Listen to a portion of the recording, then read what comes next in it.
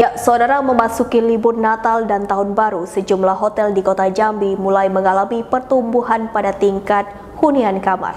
Di mana rata-rata tingkat hunian hotel yang tergabung dalam PHRI Jambi berada di atas 50 persen.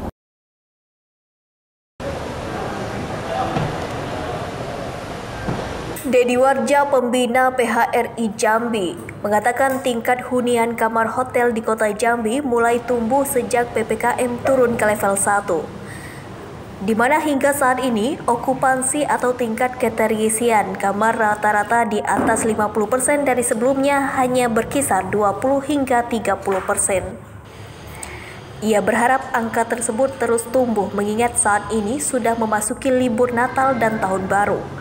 Selain itu, menanggapi kebijakan pemerintah yang melarang perayaan saat tahun baru mendatang, ia mengungkapkan pihaknya akan tetap mengikuti aturan dari pemerintah yang hanya memperbolehkan adanya kegiatan hingga pukul 10 malam waktu Indonesia Barat.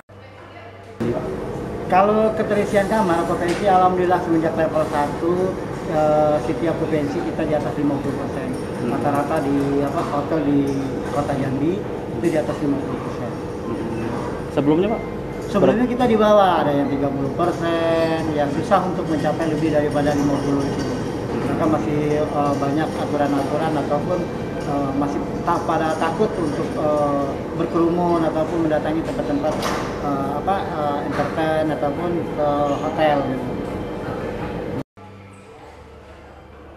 Kontributor BTV Febri melaporkan dari kota Jambi. Pemirsa informasi tadi sekaligus menutup kebersamaan kita dalam BTV News malam hari ini. Tetap selalu menjaga protokol kesehatan untuk mencegah penyebaran virus COVID-19.